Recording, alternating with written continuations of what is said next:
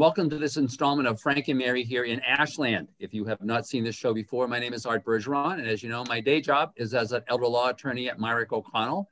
But this is not about my day job. It's about my friends Frank and Mary. We've seen you've seen in my presentations, I talk about Frank and Mary. Their goal in life is to live in their house until they die and be buried in the backyard. And if that's in Ashland, that means here. So the point of the show usually is to focus on the people you need to know and the, the programs you need to know about in order to stay right here in Ashland. I've got my wonderful co-host, Steve Mitchell. We've been doing these shows now for a couple of years, I think, Steve. It's been a couple of years, Arthur, yes. And, but I, but we've got some really special guests today who who are not you know local to Ashland, but are really to speak talk to talk about the value of the programs like the show that we're doing right now and the people that bring you these shows. So Steve, you want you want to talk about who we've got today?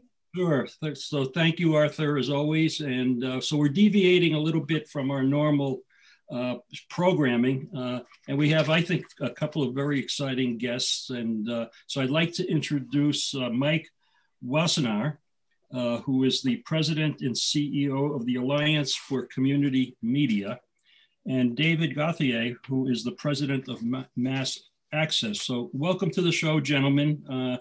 It's really uh, it's a pleasure to have you. I know Barbara's wanted to have have both of you on our our show for quite a while. So this is uh, this is your uh, your time in the sun in Ashland. And uh, so if you would just take a few minutes, uh, Mike, we'll start with you. Uh, describe your organization. You know what's your goals, what's your mission, and then we'll turn it over to David, and then we can talk about you know some of the issues now that we have with with community community media. So, Mike, why don't you start?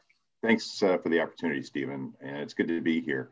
Uh, I'm Mike Wassenaar. Uh, I'm the president and CEO of the Alliance for Community Media, which is a, a, membership association made up of public, educational, and government television channels around the United States. So it's organizations like Ashland, uh, all throughout the United States, in all 50 states, actually um, that provide uh, public access, educational access, and government access television to local communities. Uh, typically, the programs are on cable channels, but increasingly they're also uh, featured uh, on the internet and on radio as well. Um, and they're really devoted to local expression, uh, local information, uh, local news, local culture um, in, in ways that commercial television really can't operate just because of the the scale issues that are involved with commercial television. Um, so um, we uh, uh, um, are unique in, in lots of respects because we we reflect the local communities, we're really profoundly local communities. So if you think about like the situation in Ashland, you can kind of kind of go to Hawaii metaphorically, maybe and not literally metaphorically. There's going to be a community like yours in Hawaii, believe it or not, that has a television channel that looks and feels like the local community. The same thing's true with any other of, of our 50 states and communities all throughout the 50 states. Um, so um, that's kind of our role. I'm based in Washington, D.C. I work with policymakers uh, here in Washington, but I also work with organizations all around the country uh, who are our members. Great. Thank you, Mike. Uh, so, David, why don't you give us your, uh, uh, your uh, info Sure, and uh, thank you very much for for having us here today. And I'm glad you went to Mike first because it makes my job a little bit easier describing it. So if you can take what Mike does on a national level and just sort of pare it down to a statewide level, that's sort of what Mass Access does. We're that advocacy agency uh, within the state of Massachusetts, very similar uh, goal wise as to what the Alliance does. So we are trying to uh, get community media stations across the Commonwealth to share information and share resources. So we're hosting uh, the Massachusetts Media Exchange, which allows community media stations to share programs very easily from one municipality to the next. We're also doing a lot of advocacy uh, in lawmaking uh, for the statewide level. So it's a lot of the similar sort of things, bringing education and just trying to sort of raise the quality of community media stations and what what we can do, the services that we're providing to municipalities across the state. So very similar, and uh, that's what we're up to. Very good. Well, appreciate that those introductions. And uh, you know, as as you may or may not be aware, uh, you know, our show, uh, as Arthur described, is is oriented towards the senior demographic. And uh, our last show, uh, as an example, we had our COVID nineteen task force uh, director come in talk about the uh, what was going on with the vaccine distribution uh, and so on. So that's the kind of the themes that we run by. Um, so for, for, a question for both of you, um, you know, in this era of COVID-19, how have you adjusted, how have you modified, how have you directed your, your resources to, because I, I think Arthur and I, we've talked about this, uh, uh, it, obviously the importance of community media has increased over the last year and uh, as, a, as a mechanism for, for information. So if you can address that, that'd be great. Um, well, let me let me start off, and, and, David, you could talk a little bit more about what's happening in Massachusetts specifically, I suppose. I, I think the first thing really that's unique about our stations um, generally is that we've been devoted to making sure that members of the community aren't isolated. Um, I, I, think that's extremely important, and it's left unsaid. A lot of times, um, you know, television stations are about making money and they're about selling advertisements and having eyeballs uh, show up and, and watch watch programs. Well, that's important. Having audiences is extremely important, but caring about connecting with audience is like a core issue within our organizations. So uh, one of the most profound impacts that we've saw, we've seen across the country is breaking down the social isol- isolation that um, has happened as a result of COVID. Now, this is for, for seniors certainly, but also for school age uh, school age uh, families. Um, you know, um, mothers and fathers is trying to figure things out as they're trying to, you know, uh, make their make their way on a day to day basis. Um, so a lot of what our organizations have been doing is either been doing social outreach uh, for different types of uh, cultural programs, religious programs, social programs, uh, but then also educational outreach so that school districts and community colleges have the ability to be able to do their work in really a difficult environment. So we've seen that a lot, a lot across the country. And then I think the, the political uh, outreach issue is extremely important with, you know, sort of getting health information out to folks that's accurate and clear. A lot of our organizations are involved with that because of our relationships with health departments and with local government, whether it be city or county, depending upon the state you're in. And then also on the flip side of this, one of the things that I think is extremely important is to make sure that democracy still works. Um, you know, so you know this in Massachusetts, town meetings are extremely important in the life of local democracy. Uh, but this is true for communities across the country. Um, a lot of our organizations really had to pivot rapidly uh, during the, the, initial parts of the outbreak to ensure that local government still was open, still was communicating, and that participation from uh, local citizens was still being recognized and valued. So, you know, you see this all across the country is that our operations have helped to ensure that um, local meetings still continue, that you still have still have public input on, you know, the, the business of, of government, which is still going on in America. That that hasn't stopped as a result of COVID. Um, um, so we're, we've become sort of it's very interesting. Um, I think in a lot of communities, we're sort of this vital connective tissue, a social civic connection, if you will. Um, and, and that's what we've been seeing uh, uh across the country um, uh, during what has been a pretty difficult time.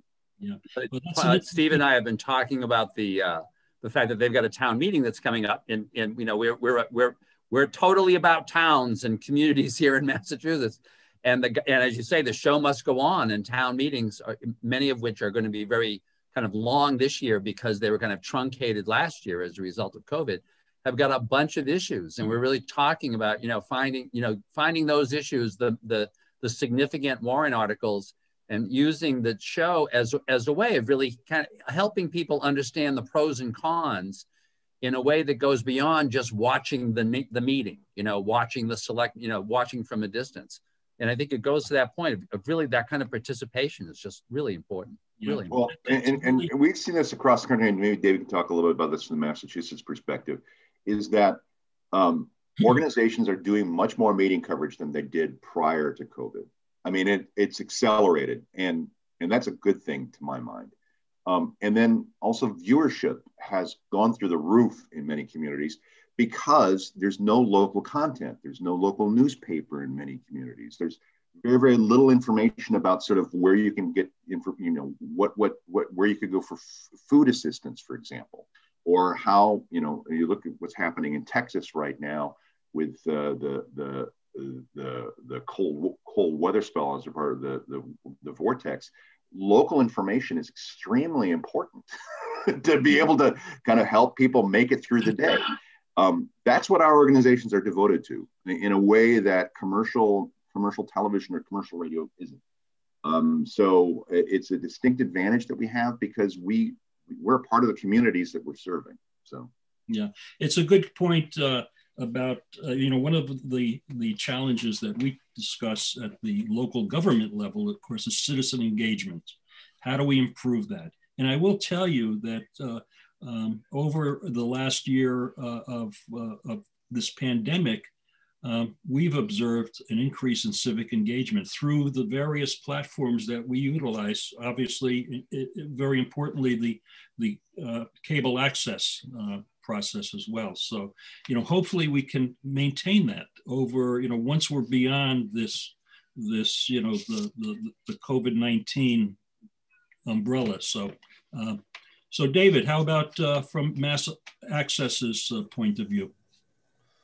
Well, I can I can echo a lot of the sentiments that have been made already, but I, I will say, you know, I couldn't be prouder to be part of this industry right now because I really do feel that as crazy as the last year has been in a lot of different levels, you know, and I it's been an opportunity for community media stations to really sort of step up and, and prove their worth to municipalities that they're supposed to be serving, right? And I think at every turn, just about we have answered that call. You talked a lot about the municipal meetings, you talked about town meetings, and all of the things that go into keeping the town functioning. Those are very important. Uh, obviously, we're, we're working very hard with school kids and trying to deliver content, help teachers get the resources that they need to, to, to get their curricula out to the students. And I will say that, you know, one thing that's been really uh, rewarding for me is that I've been working with the Mass Councils on Aging and the AARP of Massachusetts, different organizations who are serving older adults in Massachusetts communities.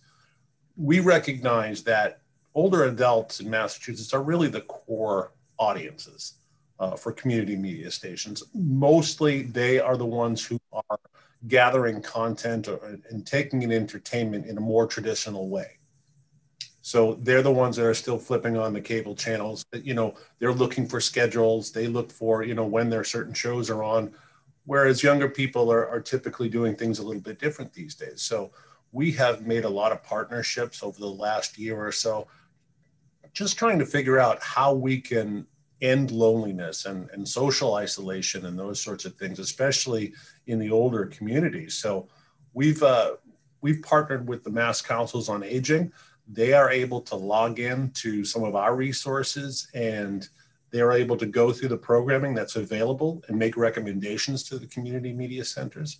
I've been sitting on a task force with the AARP of Massachusetts for the last six months, and we're talking about not just content, we're also talking about how do we get older adults in the community tied in? You know, do they need devices? Do they need a better connection to, to the internet? You know, how can how can we get the tools into their hands so that there isn't a lot of loneliness and isolation within these communities. So I think this was an opportunity for community media to really prove what we offer. And I think it's a it's a very good point what Mike brings up too about you know most of us being nonprofit organizations or uh, or city or town departments.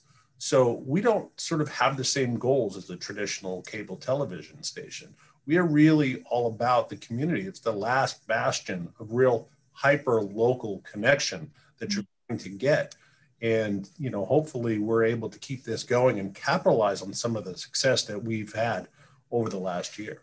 Yeah, that's that's great. Uh, you know, we've talked about uh, obviously the opportunities that that have been presented over the last year, and so let's segue into you know some of the concerns, the issues, the threats.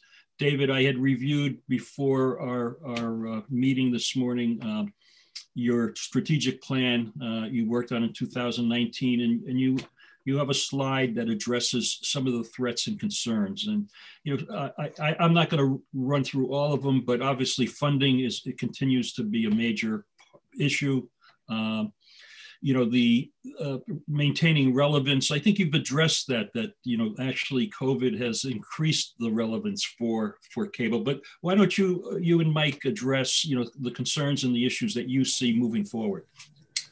Sure. Uh, I mean, a lot of those threats are financial, as you can imagine. If we don't have the money to pay the rent and pay the salaries and heat the building, we can't offer the, the services that we're trying to offer. So the mission all sort of depends on having the money to, to continue to, to fund what we do.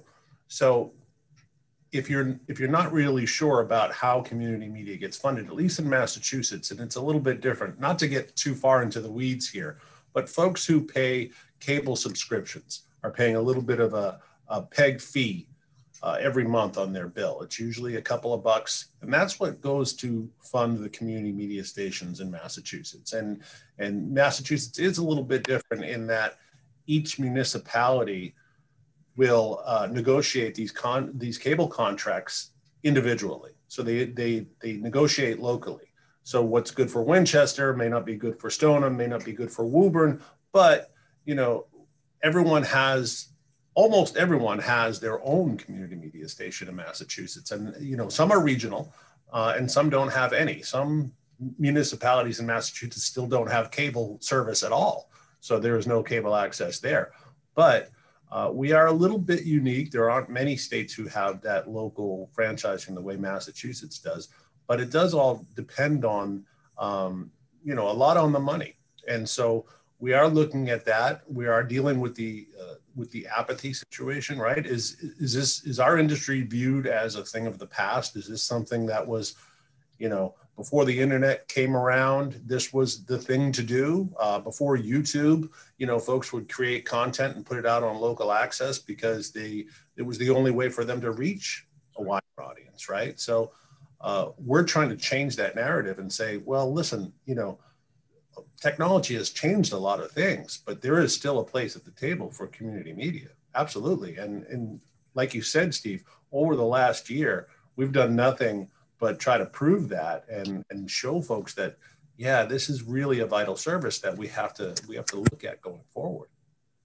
Great. You know i guess it, another couple couple of, of, things to think about and just kind of expand a little bit on, on what david's saying um, too. I mean i think there is a crisis of local information in america right now uh, in that there's less and less investment in local in local information resources generally uh, local local radio, local television. A lot of sort of there actually a lot of incentives have been created to ensure that that content that you see and, and hear is created someplace else rather than created locally. Um, so this causes a huge problem generally. Um, and I think it's something that we can solve if we concentrate on it. And, and our sector is, is uniquely poised to do it. But it causes it causes problems that you know are can, can seem insurmountable if you don't have a daily newspaper or a weekly newspaper in your community how do you find out about sort of like key civic functions uh, that are going on uh, to be able to even even do legal work appropriately i mean i know it, eh, you know like if, if someone passes away for example you often have to have a probate notice published in a local newspaper well if the local newspaper is published 75 miles away, it's not really a local newspaper anymore. So even though our, our laws aren't, aren't, aren't set up for the environment that we find ourselves in. The other thing I think it's kind of interesting um, uh, that we need to underline with money, particularly, is um, sort of the role that local government plays in the life of a community media station. And as David mentioned, some some uh, organizations are are departments of townships, for example. Well, if the township is having financial problems, a small department has huge issues. It's a little bit like, like say, if, you know, um, you know, uh, if you're a flea on the tail of a dog, when the dog gets a cold, the flea gets pneumonia. I, I you know, it's this is a version of that story just about every, everyone knows. Well, this is true, I think, for a lot of townships, for example, that are, are finding it hard to basically make ends meet in in the current COVID economy, um, especially in, in communities um, where you're highly dependent on certain types of revenue that basically fell off as a result of changes in, in upheaval in the economy. So, you know, particularly like in places that are heavily dependent on the tourism sector, um, and you know, those types of vacation communities really suffered.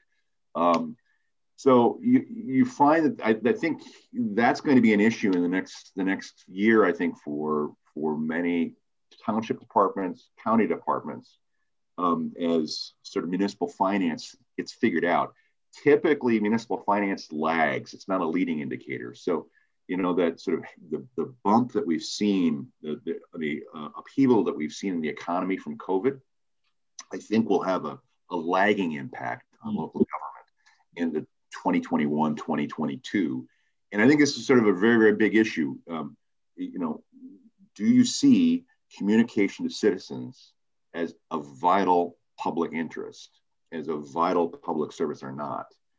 Um, and I think sometimes we we downplay it because it is ephemeral. You know, it's it's here today and gone tomorrow. It's it's it's not like a road that you build. Yeah. Um, right. Um, so that civic infrastructure that David's talking about isn't sometimes seen as infrastructure, if you will. Uh, and my fear is that um, towns and counties across America are going to have some real economic problems.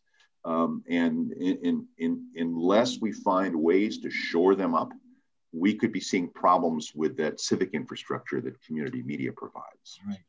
Okay. So a quick question, Mike, on the federal level uh, changing with the change of administration and some of the issues that were being discussed during the prior administration with the FCC.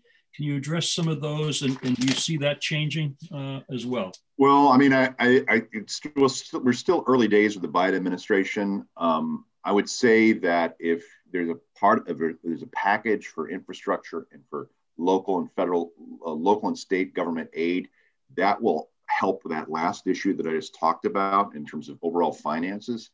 Um, again, it, it, release, it releases the pressure valve, if you will, uh, on local government. So I, I, I think that's going to be a, a, huge difference with the Biden administration from what we saw in the prior administration, just in terms of the relationship that the federal government has with locals, local and state government.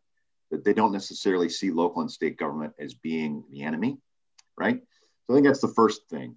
Um, you know, there's a there's a, some um, legislation being discussed right now um, that uh, would basically find ways to relieve some of the economic pressure on community media stations. Uh, Senator Ed Markey has been a, a, leader in that work, and not just in Massachusetts, but around the country. We'll probably see reintroduction of a bill called the Protecting Community Television Act this spring, um, which I think has a much better chance of support now uh, with both the Biden administration and with the new Senate and House. Um, so we'll be seeing that in, in, the spring. And again, that, bodes well. I think we'll have the ability probably to tell our story better uh, because you have um, uh, both an administration as well as a Senate majority that actually wants to hear about local successes in states. And I, and I think, and, and I don't want to be too partisan here, um, but I think you know, it doesn't matter if your state is red or blue. If you've got a success story that that you need to tell, and and to a certain extent, Massachusetts suffered a little bit because it was a seen as a blue state, right? And so then you know you can't really talk about Massachusetts success stories, and we saw this with the FCC under the prior administration, where basically they're interested in finding out about what's happening in red states so they could promote red state politicians right? I, and and so I think we'll see a little bit more openness to hearing uh, from local communities about what works and what doesn't, what the needs are, and a little bit less of a political lens, if you will. Um, and I'm not saying that politics is gone entirely. I, I the the thing that I hate about Washington D.C. is everyone's talking about 2022 already, right? Rather than actually talking about what people need right now. Um, so uh, it's still there, but I think there's a little bit less of a of a, a hyperactive political lens than we saw in the last four years here in Washington, which I think is a positive thing for local communities. Steve, I know that. Uh, so, so Mike, one of my uh, one of my jobs here is to provide on the show is to provide comic relief, and the other is to keep track of the time. And I'm watching the clock and knowing that we're getting close to that time. I just wanted to I just wanted to add that from my perspective, you know, as as as Steve knows, I do I do these shows. I do it probably maybe in a dozen communities, and and to to me, you, you it's so clear that the cables is replacing the print media as the anchor in so many of these communities. And without it, there will be no community communication. And that's why I keep really trying to promote the, the importance of these shows. Just, well, I, I would say the one other thing, Arthur, to, to be mindful of is, is what's going to happen with that, that weekly newspaper. I've actually talked to a couple of Massachusetts communities that are concerned about that weekly disappearing and what happens what happens with the, the local journalism uh, in those communities. So I think that's actually something that I, I would be mindful of in the next couple of, of, of years uh, in local communities in Massachusetts. It's thinking about like ways that you can be sustaining civic information, journalism, local information that matters. And, and that's got to be at the, at the top of our mind um, as we're doing our work together. Yeah, yeah great. Steve, this is a lot of fun. Yeah, this is a great show, Arthur. I mean, you know, th- this was even though it was way off of our reservation in terms of our mission, but this is great to hear from from uh, from Mike and David, and I think we really hit on some very key points, and uh, you know, both in terms of our demographic, Arthur, but also, you know, what's the future for our young residents and how they participate, get information, uh, and and and and are part of the community. And we want to emphasize, by the way, that the reason why this show is happening is because Barbara Chisholm is such a big deal. Barbara Chisholm at the state and the national level is a big deal. You know, she's, you know, she, they just think of her as the local. She's a star out there. She's a treasure. Barbara, we can't argue with that. Yeah. Barbara, th thank you for putting this show together. Um, thank you very much, um, Mike and David, for participating. As usual, Steve, always a pleasure. And folks, we hope you enjoyed this. Um, Next time you see Barbara Chisholm, tell her, oh, you're a big deal. and we'll look forward to see you on the next installment of Frank and Mary here in Ashland. Thank you very much.